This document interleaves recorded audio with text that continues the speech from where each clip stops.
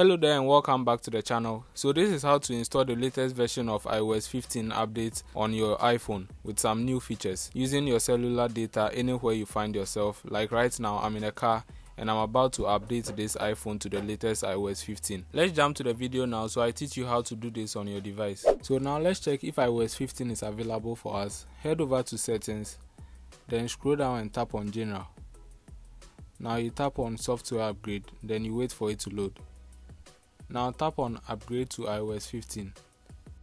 So we can now see iOS 15 is now official on our device. But when you take a closer look here, you can see you can't tap on the download and install button. So to be able, it's because we are not connected to a Wi-Fi network. So to be able to download this using the cellular data, we'll first have to do some changes first. So tap on automatic update and make sure you turn off install iOS updates.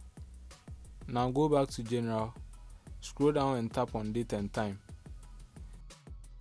Then turn off set automatically. Now tap on the date. So now what we have to do here is you have to change the date to maybe one month ahead or any month ahead you like to select then